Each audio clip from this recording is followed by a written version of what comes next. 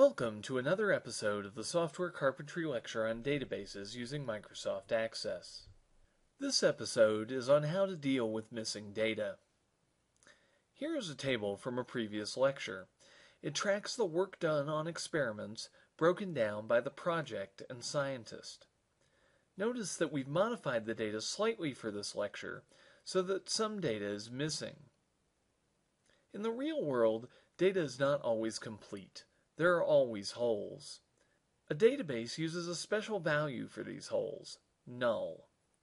Null is not zero, false, or the empty string, it is just a different kind of value.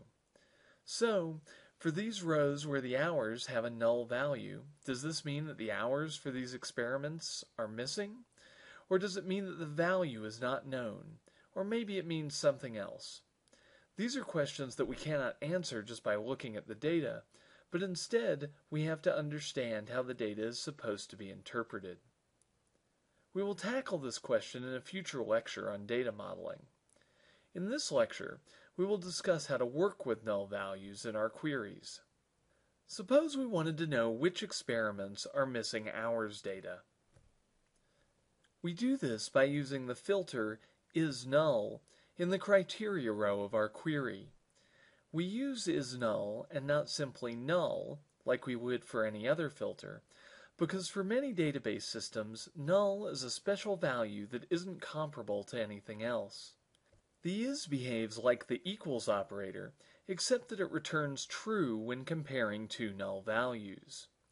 But if you forget and just use null, Access is smart enough to fix this for you. Here, you can see that the entries in the experiments table with missing hours fields are returned.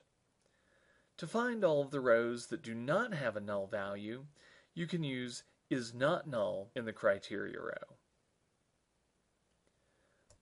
Because null is a different type of value altogether, if your data may have null values in it, your queries must take this into account. For example, suppose we wanted to find all of the experiments which did not take 7 hours. You might write not equal to 7 in the criteria row of the hours column. Notice that the results are missing the records with null values in the hours field. Those records were filtered out because, as we've said, only the is and is not operator will return true when comparing a null to another value. If we mean for these rows to be included, we need to add to the criteria clause to explicitly check for null values.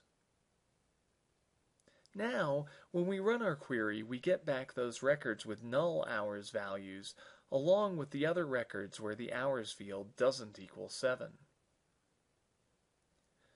Null values are also handled differently by aggregation functions. Most aggregation functions ignore null values in their calculations.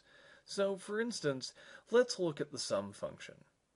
To calculate the total number of hours spent on experiments, we'd start with a query like this. Click on Totals and use Sum to add up the values. But this total is actually just the sum of all the numeric values. The null values are skipped. This is more important for functions like average, which depend on the total number of records in the aggregation. Null values are skipped, and so they don't count towards the average. The null values are not treated as zero. The average function just skips over them as if they weren't in the dataset. This is also true for max, min, and count in Access. In this lecture, we've seen that databases use a special value called null for empty or missing information. This value has to be taken into account and handled in a unique way when you are writing queries.